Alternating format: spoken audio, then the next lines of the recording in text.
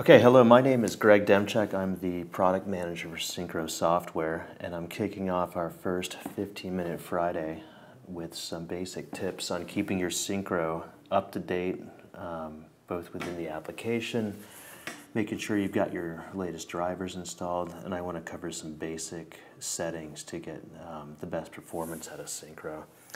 Um, we're going to do these meetings regularly, and they're going to be short and hopefully sweet and to the point. So I'm going to jump right in to Synchro software. So the first thing you should do uh, if you're running Synchro is, is make sure you've got the latest version installed. You can just go up to the Help menu, go to About, uh, check this dialog here, and version 5.011 is the latest version.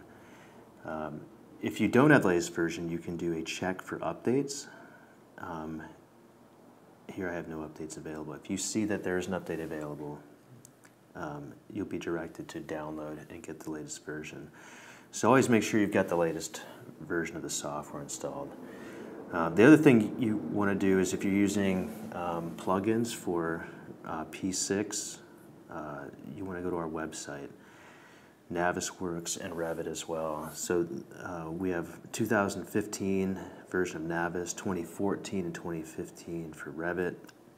The ProjectWise plugin is actually installed when you install Synchro, so that'll come with the, the installer. Um, it's just an option in the installer, so if you need to do that, you want to go back to the installer and reinstall that. Uh, the MicroStation plugin is also here, and SketchUp is also available with the installer for Pro 5. All right, so make sure you've got all your plugins up to date uh, from our website. Now I want to talk about making sure you've got the latest video driver. What you want to do is go to your device manager and we're going to check for your display adapter. And right here, you're gonna see what is your video driver. I'm running an NVIDIA Quadro K1000M. What you don't wanna do is click this button within Windows to automatically update. That just does not work with the update drivers. So check your driver version here, and you're gonna use this information to verify you get an updated version uh, from the NVIDIA website. Okay, so again, we want to use the NVIDIA website and driver, not this automatic Windows update. It just tends not to work. So I'm just going to do a screen cap of that version so I can compare it later. Browse to NVIDIA and right there at the top we have a link to the drivers. Uh, we know what I'm looking for. It's a Quadro um, mobile notebooks. It's a notebook series. We want that uh, K, K1000M. All right, so we got that from our driver list. And I'm gonna go with performance driver. Should do it. It's gonna find my driver and this is a newer version. Check that there. I'm going to download and just run it. Uh, drivers come out regularly from NVIDIA, and, and, these do have a direct impact on uh, interactions with uh, the video performance, the, the 3D window within, within Synchro. So having the updated drivers uh, is just something to always check and make sure you're running this should prevent uh, things like crashes and uh, slow performance. so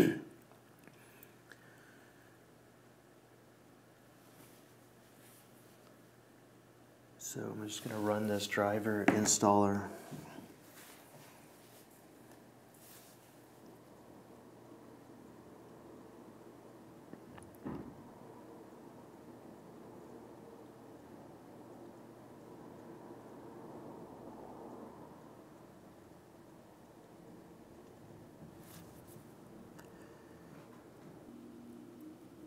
Okay, once the driver's been installed,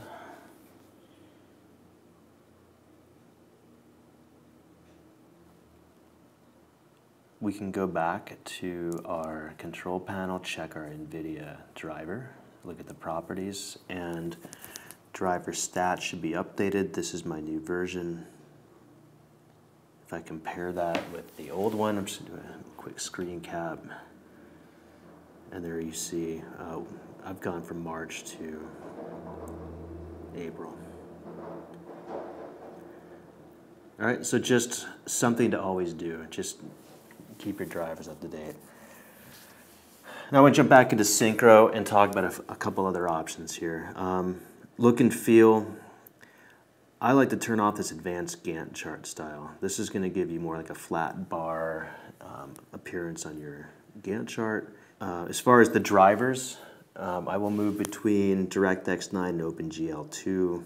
Typically, I'm going to stick with DirectX 11. The first two, OpenGL and DirectX, um, you only want to use those if you are not interested in seeing any special effects like shadows or ambient occlusion.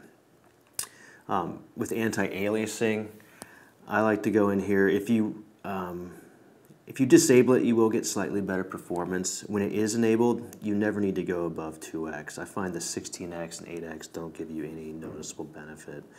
The other thing you want to make sure is you've always got static model enabled. If you uncheck that, you will tend to get slower performance with spinning, orbiting, and panning. Okay, so if for some reason you notice your model is not spinning or orbiting, uh, fast, you want to go into options and check that static model um, checkbox. Always make sure that's enabled. And that should give you good spin performance on your model.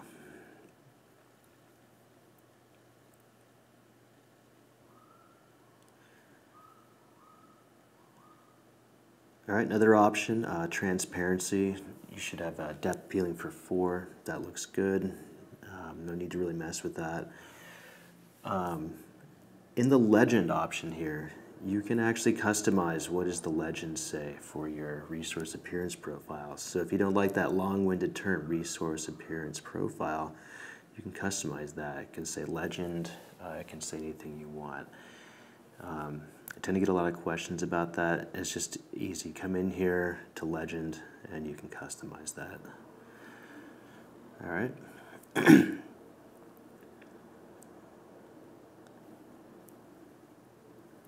Other things worth noting uh, under rendering effects, um, I find that if I dial, if you are going to use ambient occlusion, I dial that number way down um, 0.02, 0.01. It will give it a subtle effect that'll appear more like you might get in a tool like Revit uh, or Navisworks. If the number's too high, uh, the graphic artifacts kind of get a bit strange. You can kind of see here on the screen. Um, but if you dial that number down from a 1 to a lower value, it's a little bit more subtle. It'll give you kind of the effect you're looking for. Uh, with shadows, uh, turn on the jitter, just because it's slightly better. Um, with the AVI export, um, I like to turn off this checkbox to ask me to unselect objects when exporting the AVI. Um, it's easy to have something selected, and uh, you don't want to have that selected object show up as selected when you export. Um, and I don't think I need to be asked about that. So if you turn that off, it'll automatically deselect anything you have selected. Um, from a printing standpoint, make sure this print text labels on Gantt chart is unchecked. This will just uh, allow that when you print your Gantt chart, everything will zoom to fit and look properly on the, on the screen. Okay, that's, um, that's what I've got for today. I know it's short, but hopefully that gives you some, uh, some good tips on some settings and uh, make sure you've got the latest version of Synchro installed and you've got the latest drivers installed. And with that, I'm happy to take any questions for the next few minutes. Thank you. Bye.